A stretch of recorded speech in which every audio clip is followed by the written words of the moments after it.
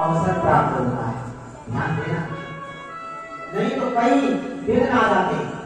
आप घर से भागवत की कथा सुनने के लिए चले, रास्ते में कोई मिला, उसके साथ आप चले किसी का फ़ोन आ गया, मन भ्रमित हो गया। कई बाधाएँ आती और जो जीवन में भागवत की कथा कराने का सोचता है जिसके मन में केवल भागवत बनाने की प्रेरणा उत्पन्न हो जाती है। समझो कई जन्मों के पुण्य उसके उदय हुई और जीवन में एक न एक बार अपने घर में भागवत ज़रूर करानी चाहिए जो माने राधे। भागवत का बड़ा महत्व है। भागवत अठारह पुराणों में तिलक है।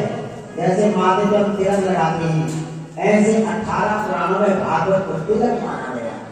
भगवान श्री कृष्ण का साक्षात तो भाग्योदय समर्जितेन कई जन्मों के पुण्य जब उदय होती है तो भागवती कथा सुनने का सौभाग्य मिलता है और सत्संगमं लभते पुरुषो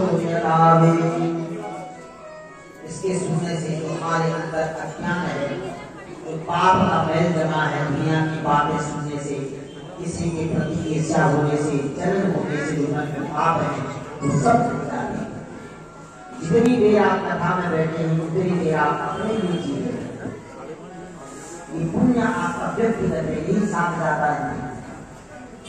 करोड़ों से कानों से हम सुनते इस कथा को मन में उतारते क्योंकि प्रत्येक के मन में उस परमात्मा का वास है, जीव का। ईश्वर जो है, हमारे अंदर भी है। ईश्वर अंश जीव अविनाश गरम तब कहते हैं में राम है वही राम इस का श्रवण करता है भूखता है।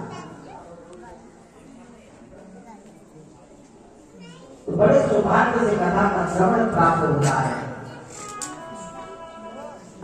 तो भागवत की कथा होने लगी तो सारा प्रिया लगे वहाँ देखिए। घूम के वहाँ नाचने लगे गरम पानी